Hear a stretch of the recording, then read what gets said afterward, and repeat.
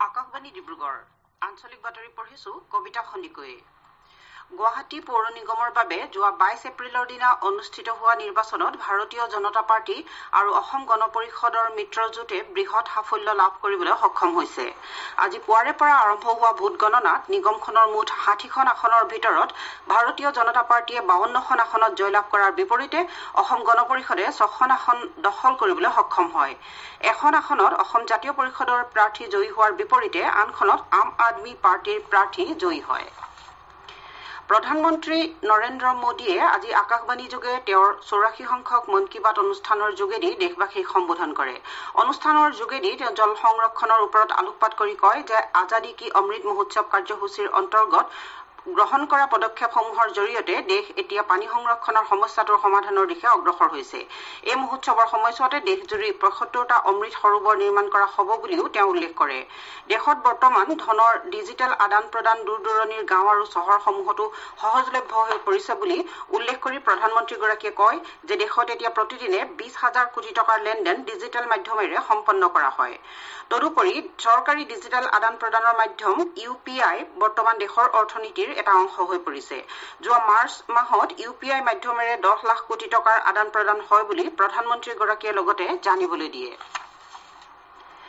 অহা আঠাইছ এপ্ৰিলত দেশৰ প্ৰধানমন্ত্ৰী নৰেন্দ্ৰ মোদীৰ ডিব্ৰুগড় ভ্ৰমণ সন্দৰ্ভত আজি মুখ্যমন্ত্ৰী হিমন্ত বিশ্ব শৰ্মাই ডিব্ৰুগড়ত উপস্থিত হৈ জিলা প্ৰশাসনে হাতত লোৱা ব্যৱস্থাৰ বুজ লয়। মুখ্যমন্ত্ৰীগৰাকীয়ে চহৰখনৰ সমীপৰ খনিকৰত নিৰ্মাণ হৈ থকা অস্থায়ী হেলিপেডো পৰ্যবেক্ষণ কৰে। কেন্দ্ৰীয় মন্ত্ৰী ৰামেশ্বৰ তেলীৰ লগতে ৰাজ্য চৰকাৰৰ কেইবাগৰাকীও মন্ত্ৰী আৰু বিধায়কেও মুখ্যমন্ত্ৰীগৰাকীক সংগ দিয়ে। ৰাষ্ট্ৰীয় পঞ্চায়ত দিৱসৰ লগত সংগতি ৰাখি ধেমাজি উন্নয়ন খণ্ডই আজি দিনজোৰা কাৰ্যসূচীৰে ধেমাজি দক্ষিণ ধেমাজি পঞ্চায়তত গাঁওসভা অনুষ্ঠিত কৰে। গাঁওসভাত আজি শিক্ষামন্ত্ৰী ৰণোজ পেগুৱে দীনদয়াল পঞ্চায়ত সবলীকৰণ শাখাত ৰাজ্যখনৰ ভিতৰতে প্ৰথম হোৱা ধেমাজি জিলা পৰিষদক কেন্দ্ৰীয় চৰকাৰে ঘোষণা কৰা বঁটাৰ সৈতে নগদ পঞ্চাছ লাখ টকাৰ চেক প্ৰদান কৰে। মন্ত্ৰীগৰাকীয়ে অমৃত সাগৰ আঁচনিৰ জৰিয়তে জিলাখনত বৃহৎ পুখুৰী খান্দি মাছ পোহা আৰু পুখুৰীৰ পাৰত ফুলনি আৰু খেলপথাৰৰ নিৰ্মাণ কৰিবলৈ জিলা পৰিষদলৈ আহান জনায়। এই সভাতে ভাল ফল দেখুওৱা পঞ্চায়তবোৰক পুৰস্কৃত কৰা হয়। লখিমপুৰৰ সাংসদ প্ৰদান বৰুৱা আৰু জোনাইৰ বিধায়ক ভুৱন পেগুৱে ধান ক্ৰয় আঁচনি আৰু বসুন্ধৰা আঁচনিৰ ব্যাখ্যা আগবঢ়ায়। চৰাইদেউ জিলাৰ কৃষি বিভাগ তথা অসম কৃষি বাণিজ্য আৰু ভ্ৰাম্য ৰূপান্তৰৰ অধীনত আঠমাহ চৰাইদেউৰ উদ্যোগত পৰহি সোণাৰী আঞ্চলিক পঞ্চায়তৰ বহুমুখী ভৱনত এখনি ক্ৰেতা আৰু বিক্ৰেতাৰ মিলন সমাৰোহ অনুষ্ঠিত কৰা হয়। অনুষ্ঠানত অংশগ্ৰহণ কৰি জিলা উপায়ুক্তগৰাকীয়ে এই মিলন সমাৰোহৰ আয়োজনে জিলাখনৰ কৃষকসকলৰ নিজৰ উৎপাদিত শস্যৰ সঠিক মূল্য লাভ কৰাৰ পথ প্ৰশস্ত কৰিব বুলি আশা প্ৰকাশ কৰে।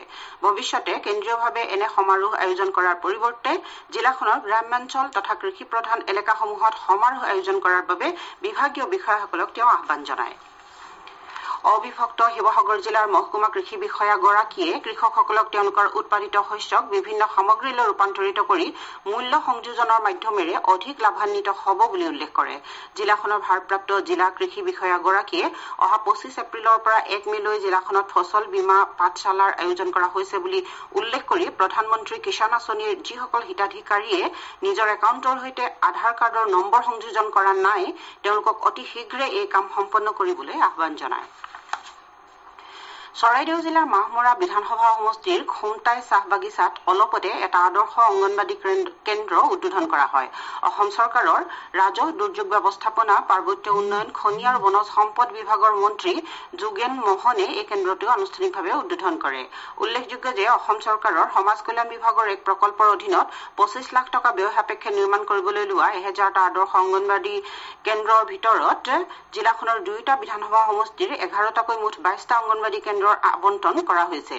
অনুষ্ঠানত উপস্থিত থাকি জিলা উপায়ুক্তগৰাকীয়ে আদৰ্শ অৱশিষ্ট আদৰ্শ অংগনবাড়ী কেন্দ্ৰসমূহো অহা মে নাইবা জুন মাহৰ ভিতৰতে উদ্বোধন কৰিব পৰা হ'ব বুলি আশা প্ৰকাশ কৰে। ওঠৰৰ পৰা ঊনষাঠি বছৰ বয়সৰ ব্যক্তিসকলৰ বাবে সাৱধানতামূলক তৃতীয় পালি কভিড নাইণ্টিনৰ টীকা প্ৰদান কাৰ্যসূচী ডিব্ৰুগড়ৰ এখন ব্যক্তিগত খণ্ডৰ চিকিৎসালয় মাৰোৱাৰী আৰোগ্য ভৱন ভৱনতো আজি আৰম্ভ কৰা হয়। ডিষ্ট্ৰিক্ট ইমিউনাইজেশ্যন বিষয়াগৰাকীয়ে উদ্বোধন কৰা এই কাৰ্যসূচীৰ অধীনত টীকাকৰণৰ বাবে উপযুক্ত ব্যক্তিসকলক চৰকাৰী নিৰীক্ষৰ বিপৰীতে কিছু কম মূল্যত কোভিশ্বিল্ড প্ৰতিষেধকবিধ প্ৰদানৰ ব্যৱস্থা কৰা হৈছে। আমাৰ আজিৰ আঞ্চলিক বাতৰিও ইমানেই।